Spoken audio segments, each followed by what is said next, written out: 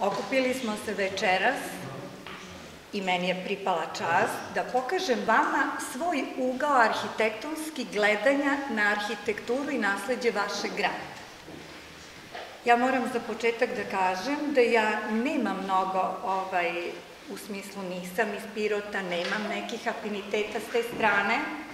Do a, pirotske arhitekture sam došla preko staroplaninske arhitekture, Moje veliko oduševljenje su izazivale seoske, seoska tradicija, staroplaninska, i posebno ono na što moram da ovaj, se osvrnem, to su kuće koje su nastajale početkom 20. veka seoske arhitekture, koje su nosile obeležja gradske starovaroške arhitekture. Recimo kuća u Smilovcima iz 1912. u centru, Pite Cenića, kuća u Donjem Krivodolu Nikole Ivanova iz 1909.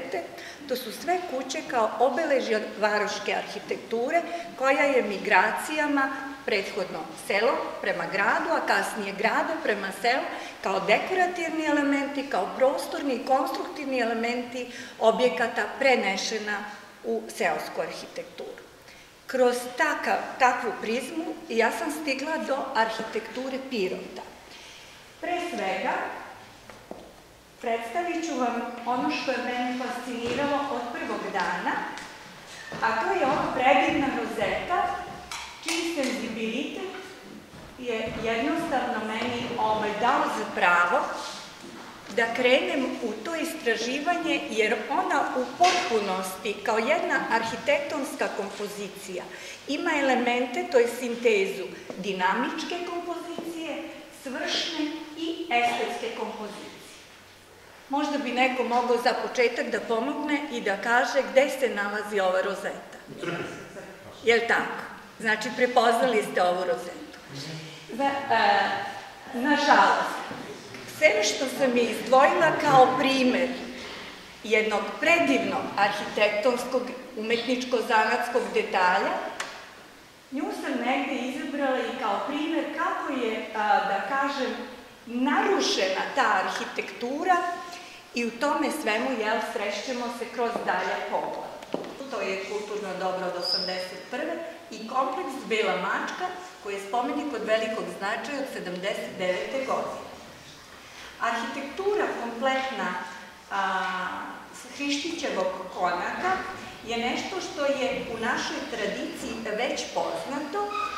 Imamo konak knjaginje Ljubice, konak knjaza Miloša Topčider, na Topčideru i imamo ovaj, jedan otprilike isti izgled s kojim se isti raspored kubusa kojim se srećemo, Samo što je ova autentičnost i razuđenost krovnih masa kod Hristićevog konaka nešto što smo, recimo, u rodovskoj, pozraždanskoj kući u Bugarskoj uspeli da pronađemo kao jedan bitan motiv koji se provlači. Kuća Hristićeva sagrađena je 1848. godine. Znamo da je Hrista Jovanović bio investitor, a u poda podaci iz knjige bugarskog arhitekte Nikolaja Tuleškova kažu da je ovu kuću sagradila slavinska majstorska grupa i na čelu sa majstorom Ilijom Lilom Lazarovim. O samom objektu ja mogu da kažem a, osnovno, kasnije ćemo kroz dekorativne elemente raščlaniti njegovu fizionomiju. Međutim, on ima erkere, Erker na tri strane.